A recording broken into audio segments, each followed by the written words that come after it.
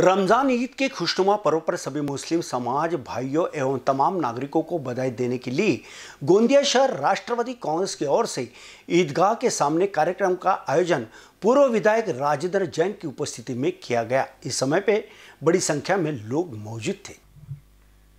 इस खुशनुमा अवसर पर राष्ट्रवादी कांग्रेस पार्टी के पदाधिकारियों ने मुस्लिम समाज भाइयों से गले मिलकर उन्हें गुलाब का फूल भेंट देकर ईद की शुभकामनाएँ दी।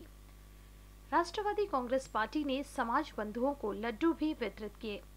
समाज में आपसी भाईचारा बढ़ाने वाली ईद के खुशनुमा अवसर पर समाज बंधुओं को शुभकामनाएँ देने के लिए उपयुक्त स्थान पर आयोजित कार्यक्रम में प्रमुख रूप से सर्वश्री राजेंद्र जैन, जनकराज गुप्ता, अशोक सहारे, मनोहर वाल्दे, राजू एन जैन, विनित सहारे, खालिद भाई पठान, सचिन शिंडे जिमी गुप्ता, संजीव रॉय एकनाथ वहीले लखन बहेलिया, आनंद ठाकुर, शैलेश वासनिक, श्याम चौरे, नागो बंसोड़ सौरभ रोकड़े, नागरतन बंसोड़ लक्ष्मीकांत डहाट, बालू कोसरकर, वसंत गनवीर शरभ मिश्रा, मंगेश रंगारी, दर्पण वानखेड़े, मोनू मोरकर, नरेंद्र वेलगे, वामन गेटाम सहित अन्य कार्यकर्ता उपस्थित थे।